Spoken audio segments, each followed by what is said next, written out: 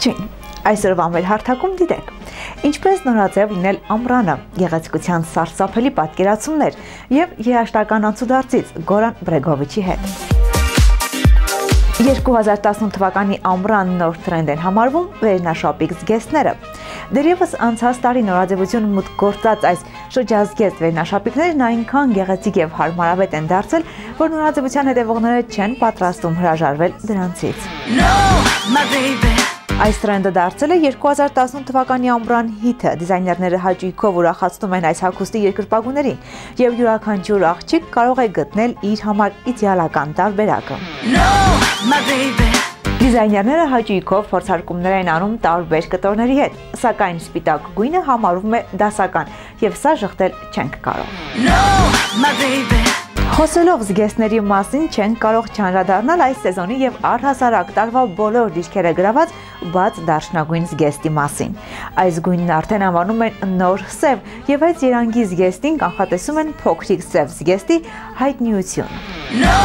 my baby Եվ իրոք, բաց դաշնագույն զգեստները կարող են հիանալի այլընտրանք դառնալ ձանձրալի մուկ զգեստներին, քանի որ դրանք հիանալի կերպով թարմացնում են դեմքը եւ դարձնում կերպարը նուրբ եւ կանացի։ Միաժամանակ այս զգեստը չի ճիչում իր մասին, ինչպես օրինակ կարմիրը, այլ ձեր շուրջ ստեղծում է առեղծվածային մթնոլորտ։ Բաց դաշնագույն զգեստը հիանալի լուծում է այն կանանց համար, ովքեր ցանկանում են զգալ կայունություն, հանգստություն եւ անդոր։ No,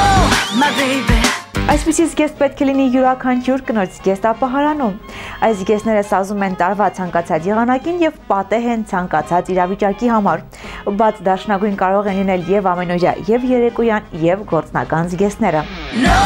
my baby Դիզայներներն այս իրանգը կատարյալ են համարում, քանի որ այն հեշտությամբ հարմարվում է զգեստապահանի այլ իրերի եւ երանգների հետ, իսկ ամենակարևորը սազում է բոլոր կանանց։ Դրա օգնությամբ կարելի է շտկել կազմվածքն այն դարձնել ավելի ձիգ եւ սլացիկ։ Կարևորը ճիշտ երանգ եւ ճիշտ ձև ընտրելն է։ No,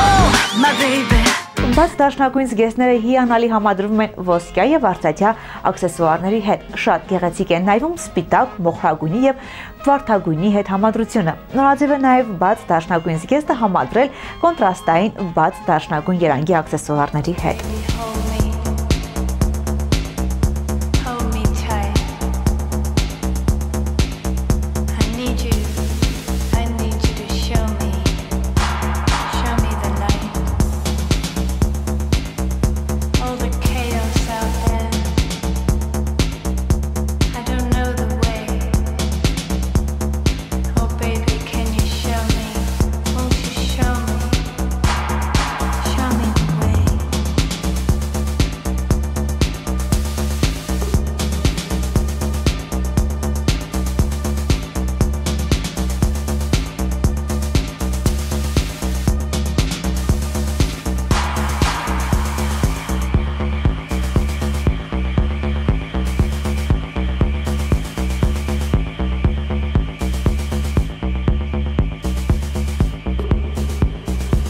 դեֆորմացված փոքրիկ ոտքեր, գեղեցկություն թե դաժանություն։ Հին Չինաստանում գեղեցկության պատկերացումները սարսափելի էին։ Համաձայն չինական ավանդույթի կանանց եւ աղջիկների ոտնաթաթերը փոքրացնում, նեղացնում էին տղամարդկանց ել ավելի դուր գալու համար։ No,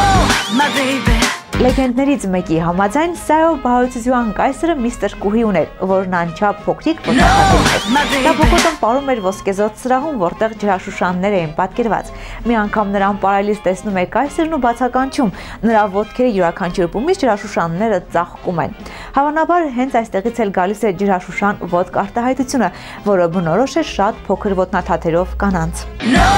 my baby Ոտնաթաթերի դեֆորմացումն ըստ չինացիների վկայում էր կնոջ թույլ եւ փխրուն լինելու մասին։ Նման կինն անչափ գրավիչ եւ սեքսուալ էր տղամարդկանց աչքերում, իսկ իրականում կինը դառնում էր սեփական մարմնի գերին։ Սկսած 5-ից 6 տարեկանից նրանց ոտնաթաթերն ամուր կապում էին, այնքան մինչև մատները սերտաճում էին։ Իդեալական էր համարվում 7 սանտիմետր երկարության ոտքը։ Ընդ որում կանանց արգելվում էր կապերը քանդել, լվանալ ոտքերը, անգամ անկողին մտնելիս չէր կարելի հանել կոշիկները։ Շատ ժամանակ կանայք մահանում էին վարակներից։ No, my baby. Ասում էին, որ քան դանդակ եւ կաշկանդված էր քայլում կինը, այնքան հարուստ կարգավիճակ նա ուներ։ No,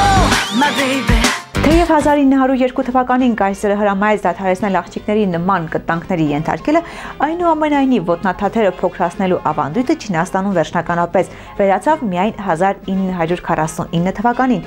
Ահա այսպիսին էին պատկերացումները գեղեցկության մասին հին արևելքում։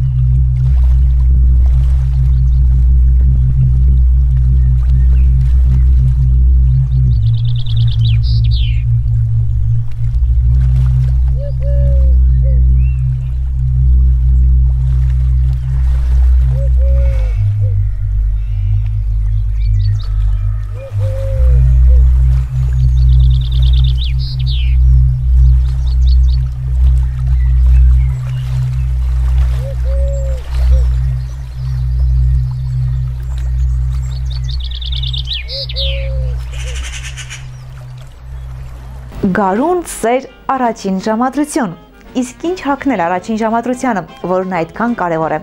Այդ օրն է հենց ուրվագծվում, արդյոք ձեր հարաբերություններն ապագա կունենան, թե ոչ։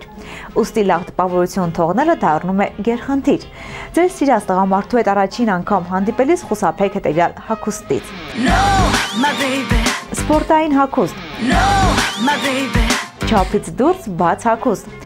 Տարօրինակ լուծումներով հագուստը նույնպես ձեզ հաջողություն չի բերի։ Մեծ չափսերի ամփույթ հագուստ եւ չափից դուրս բարձր կրունկներով կոշիկ։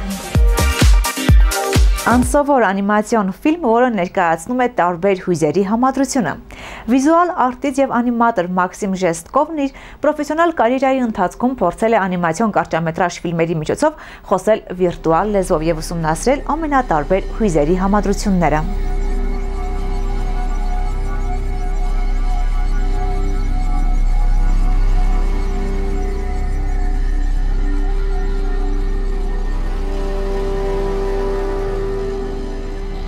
Կարճամետրաժ ֆիլմում միլիոնավոր գունագեղ մասնիկներ ապարում են, խաղում եւ շփվում միմյանց հետ ու փորձում հիպնոսացնել դիտողին։ Ֆիլմում բոլոր մասնիկները մշտապես շարժման մեջ են եւ զարգանում են տարածության մեջ։ Յուրաքանչյուր շրջանակ ստեղծում են նոր թվային քանդակ, որի ընթացքում ձայնն ու շարժումը միախառնվելով ստեղծում են անծայրածիր թվացող տիեզերք։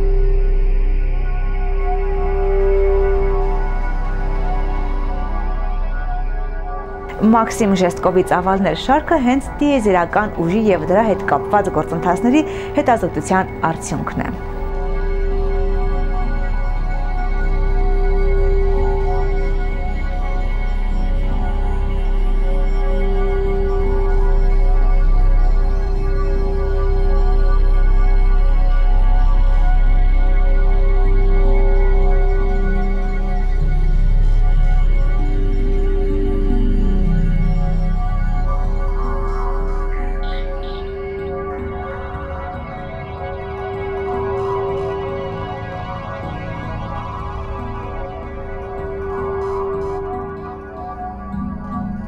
Գորան Բրեգովիչը պատրաստվում է համերգով ներկայանալ Հայաստանում։ Երբ եւ որտեղ կարծում եմ սերբական կենսուրող եւ ողջորող երաժշտության երկրպագուները նա արդեն գիտեն։ Եկեք նախքան համերգին գնալ, ավելի լավ ճանաչենք երաժշտին։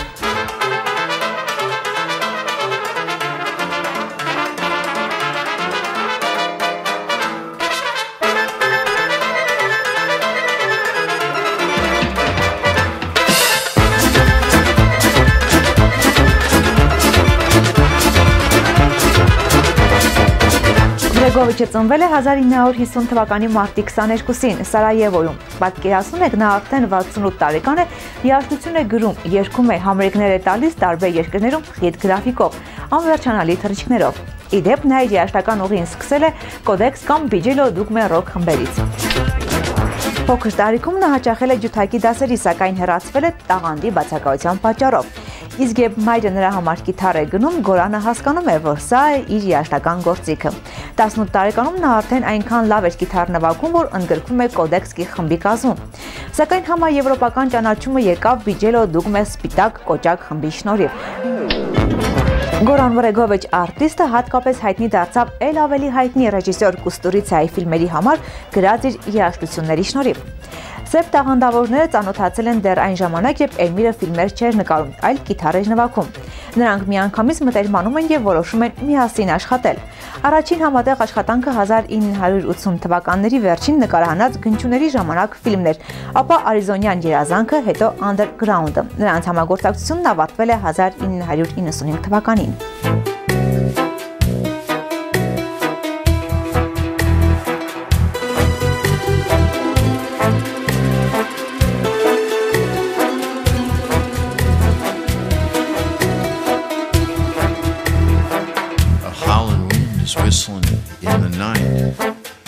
dog is growling in the dark. Something's pulling me outside to ride around in circles. I know you have got the time, cause anything I want, you do. We'll take a ride through the strangers.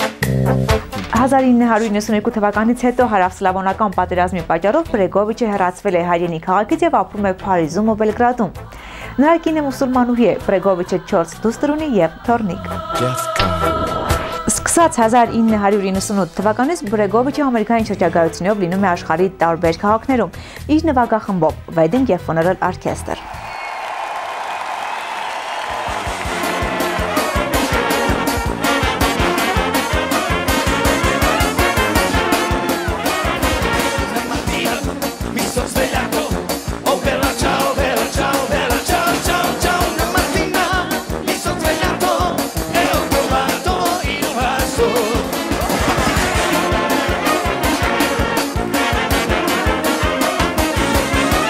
Հաճելի ժամանց Բրեգովիչի բոլոր երկրպագուներին, իսկ մենք կհանդիպենք։